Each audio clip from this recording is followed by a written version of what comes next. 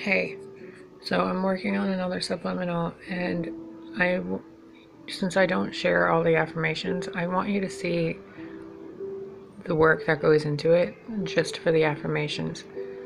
I've been meditating for about two hours and just getting into this state of seeing the divine masculine archetype completely.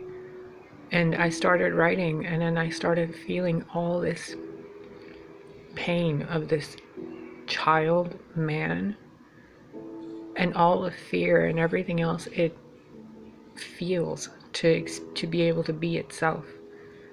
So I started writing all of these things and this is going to turn into a lot of info affirmations.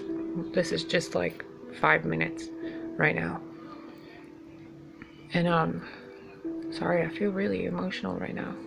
I was writing these and it really got to me just how much the male masculine sacred masculine archetype is damaged.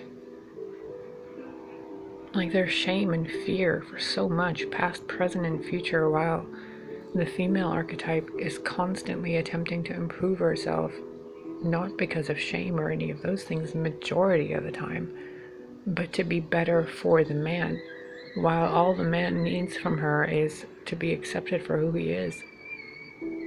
There's such a burden on both the male and female. And I wanted you to see this while I was kind of inspired to show this to you by the guides. Because this is really not going to be easy for you to listen to when it comes out. You're going to cry. You're going to have emotional outbursts. You're going to realize how much you haven't loved yourself. You're going to realize all the mistakes you've made in life and what you learned from them. You're going to end up apologizing to a lot of people you've screwed over and that have screwed you over. You're going to make peace with a lot of things in your life. So, yeah, this should be up by tomorrow. I'm going to, like, four 45 right now. I'm gonna spend all day working on this and then yeah, when it's up, it's up. And after that, I'll work on other stuff. Just FYI, this is not gonna have any physical changes in it for, for the masculine side. This is completely going to be about you and your presence in your bodily suit your human vehicle, your best friend that is your flesh and bones.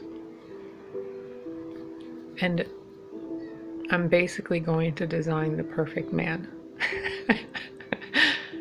what this is and what I was shown that has been what's the word?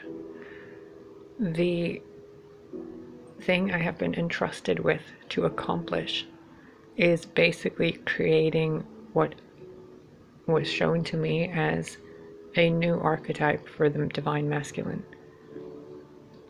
This is going to be massive. I'm letting you know this now because it's being made known to me repeatedly every time I attempt to be like, no, this is fine. I'm just making a subliminal. They're all like, no, no, you're not. This is the creation of a new archetype. The simple act of writing these affirmations puts the information within the DNA of me and the collective that I'm connected to, and all the collectives that they're connected to.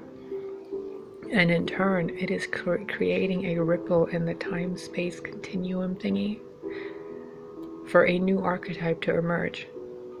This is not something small, okay? I cannot like express this enough to you. So, my advice or the advice being given to me and through me for you.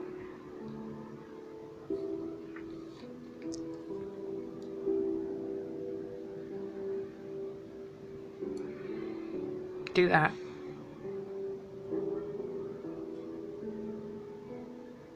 Things will not be the same after this.